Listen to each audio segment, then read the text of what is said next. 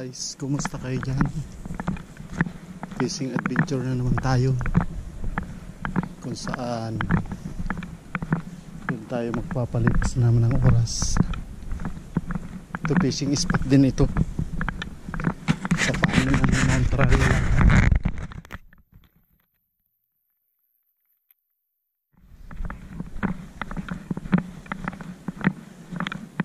Pang may huli na sila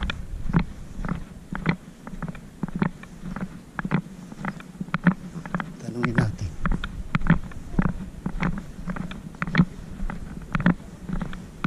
Hello guys.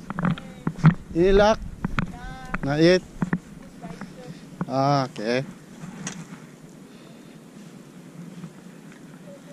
Pero hindi tayo rito. Kasi marami sabitan dyan. Doon tayo sa daanan ng barko mga galing doon sa pinarkingan mga 30 minutes lakad. Marami naglalakad dito eh kaya sama na natin yung lakad habang naghahanap ng fishing spot. Hindi nga ako nagdala ng jug ito lang dalawang fishing rod. Pero dala-dala ko yung fishing ano rod holder kasi yung bala ko dyan puntahan yung may buhangin dyan sa daan ng barko. Kaya try ko doon kung merong makagat low tide na kasi. Baka bababa na yung mga isda galing sa Mount Tralala. Doon sila dadaan. Tara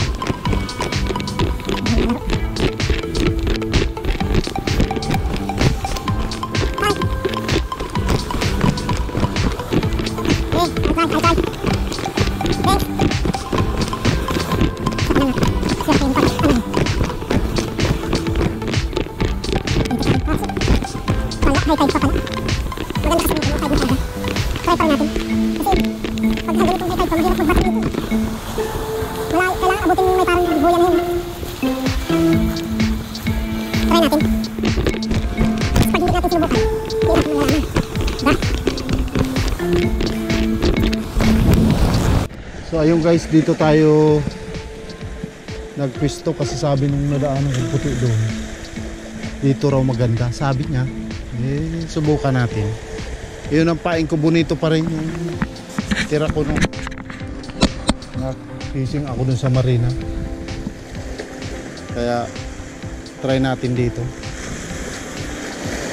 Mayroon dito. Sabi niya, may nahuli daw siya rito eh. Subukan kung mayroon talaga. Kung wala naman di. Pero ito yung spot na to yung may pin nga na ano para sa squid kaya mamaya magtatry tayo. Kung baka may squid nga dito.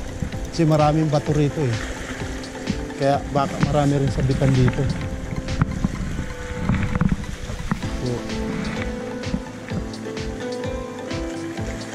alamang maiwanan yung mga pabigat natin dito pag marami sabitan sana wag naman para sayang ang 4 dollars yung masasabit lang ito na guys fire in the hole pupusa yun laang tayo ang nadali doon ah.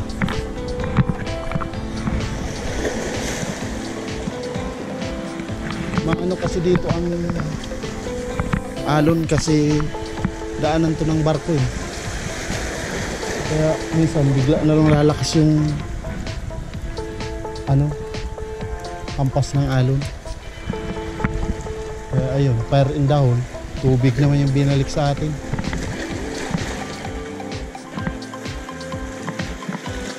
Ito yung sa ano yung pansit ano ito pala yung sit up natin na pang sukbit pwede rin itong pang squid kasi malambot lang to eh medium sit, sit up daw to sabi nila kaya try nating mag hagis-hagis dito ng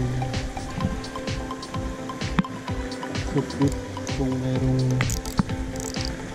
kakagat.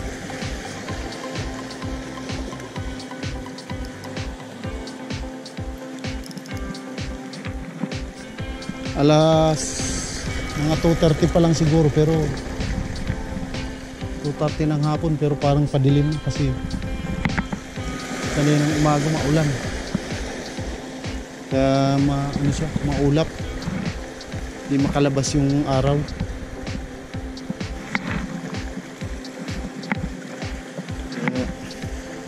Parang pagabi na.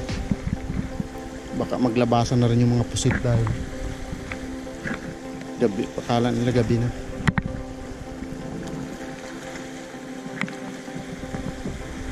Mahirap nung may orasan din yung pusit hindi pa lalabas yun kasi alam nila yung laang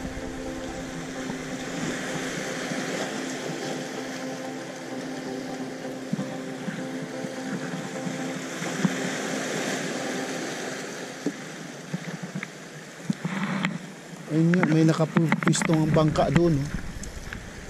Tatlo silang nangangawil. Oh. Baka mga nag-YouTube din yan.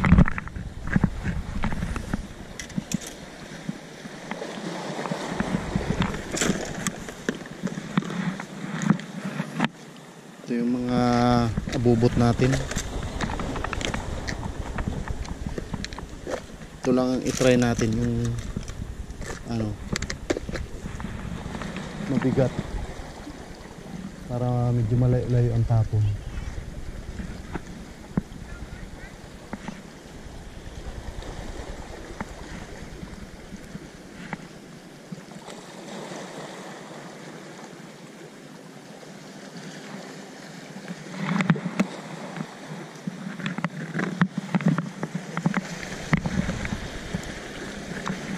pangkaway lang muna itong up natin guys.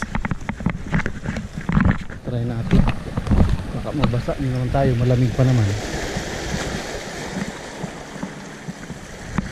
Unang hagis naku po nagbu na naputol. Naku unang hagis wala. Nagtali yung ano natin breed oh. Patay naputol.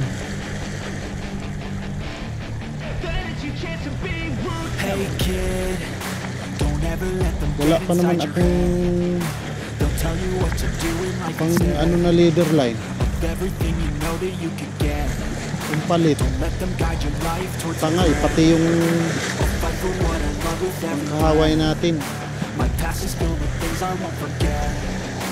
I use them all to push me to my best. Treat the worst of times just like a test. If only I could go back in time, I'd tell myself that everything will end up nagbuhol? mabigat yung ano ko siguro? find yung pain. Kaya sumama lahat yung ano, tali. Hindi match yung bigat ng ano, pain ko sa laki ng line. Kaya nung paghagis ko napwersa yung tali niya.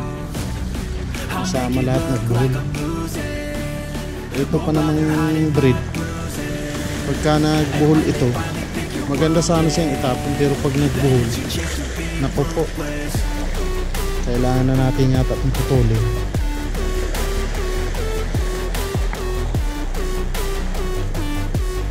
tigas pa naman ito.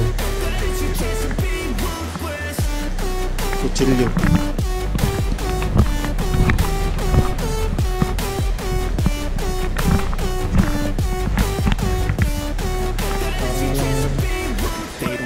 Dumadali sa bit-in-bit natin guys. Ayun yung sit up ko pa rin yun. Yung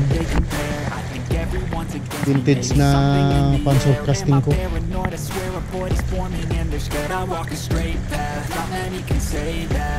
Mirador ng snapper yun ng araw payback. You better pray that I don't see your face. saka yung mga malalaking tribali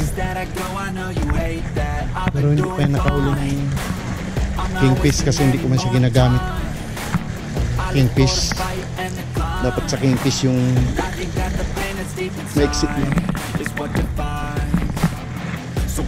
give up, I'm gonna make it to the top. I don't care what's in my way, I swear I'm never gonna stop. I could fall flat on my face and I swear I will get back up. Cause I don't deserve a thing and the road ahead is tough. They'll try to kick you while you're down. They wanna rise up while you drown. wala guys nangangamoy zero tayo ngayon guys naka 1 million na hagis na yata ako wala pa rin ayun yung bitin-wit ko ewan ko may pain pa yan. Hindi na nagalaw kahit maliit. Kaya malamang nakakalamang na yung zero ngayon. Nakakalamang na ang score ng zero. Ayos lang yan guys. Alam mo naman sa tulad nating mga nagpipacing eh hindi lang naman yung huli ang importante sa nagpipacing. Yung benefits sa katawan natin yun ang importante. Kaya huwag tayong malulungkot pag walang huli. Malaki naman ang tulong niyan sa ating ano katawan. Nakaka-relax at saka nakaka-refresh susunod ng araw pasok na naman. O di at least na iba naman.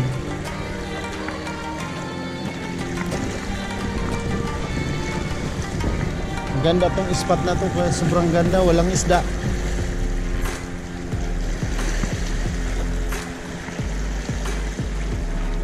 Pero yung hinahagis ko guys, pang pusit ito. Ewan ko lang, wala, wala pa yata yung pusit pag ganitong oras eh. Pero, ganun lang yung malat natin. Hagis lang ng hagis.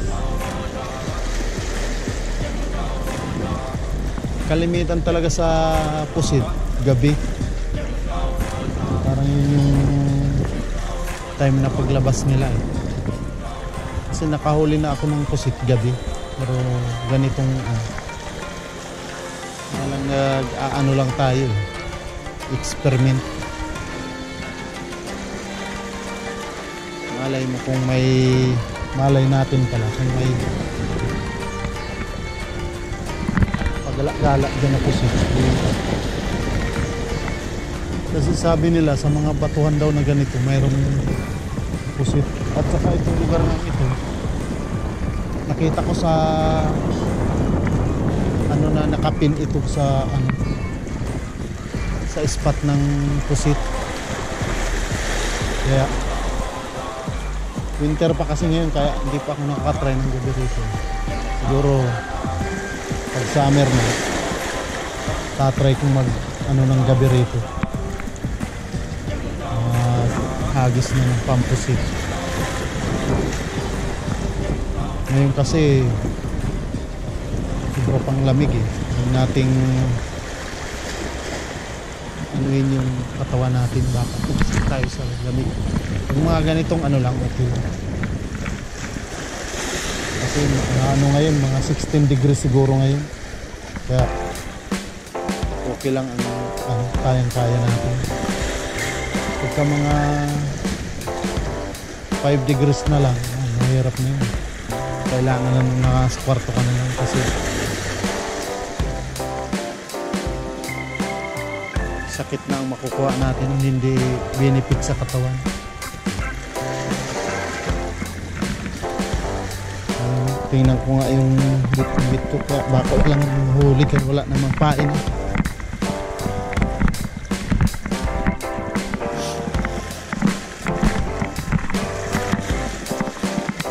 sa sobrang ganda ng pistong ito ako lang ang nagpipishing baka sa akin lang maganda tong pistong ito. Yung spot. No, daanan ito ng barko eh. Yung papasok doon sa port niya. Baka kung may mga isdang balik-balik dyan dahil mga nalalaglag na pagkain sa sinusundan mo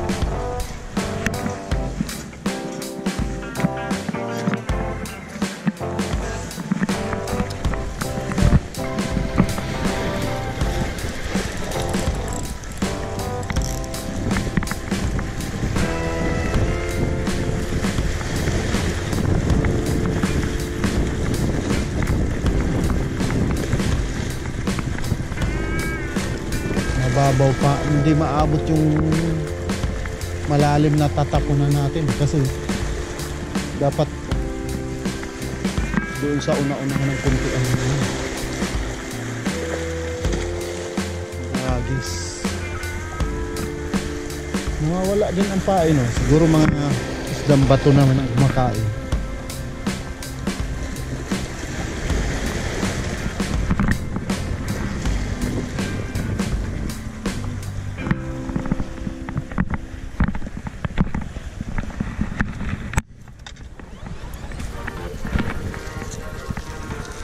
kaya ako doon sa warp na dinaanan kanina baka may dalawang bata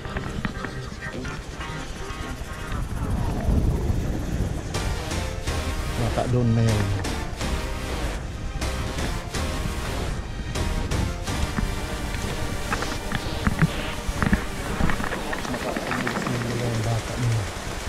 sila hindi sila tumatagal sa pagpipishing kasi dali silang mainit. Katulad katulad ko kahit maghapon. Laban ako maghapon sa piso. Wala lang wag wala din naman lang gagawin sa bahay. Kanina kasi naglinis ako doon sa kwarto ko kaya hindi ako nagfacing ng umaga. Kaya ngayon na akong hapon. Umulan pa kanina ulan kanina umaga.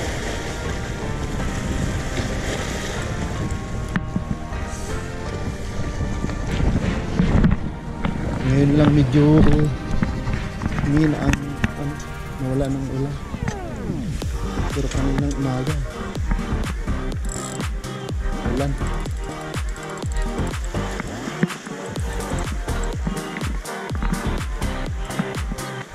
Ayos lang kahit wala tayong mahuli guys. Dahil nakapaglakad naman tayo. Adventure na rin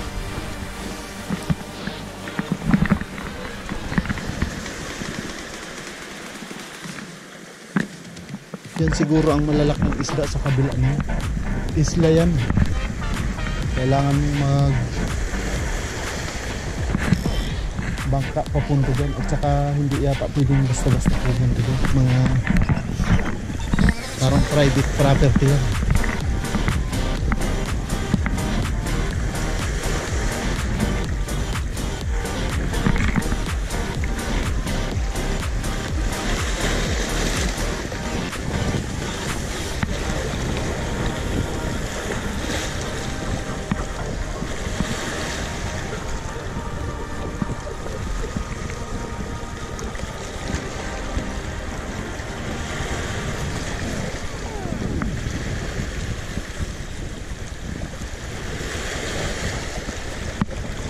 Baba na ang tubig eh.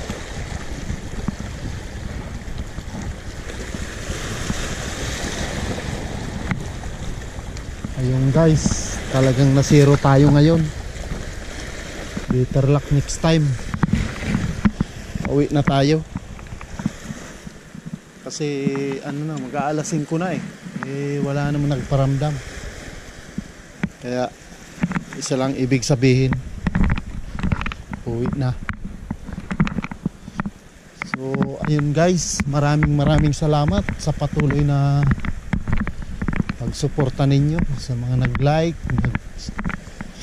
nag-comment sa aking mga video. Siyempre, ganun na rin sa mga laging nanonood. Maraming maraming salamat sa inyo.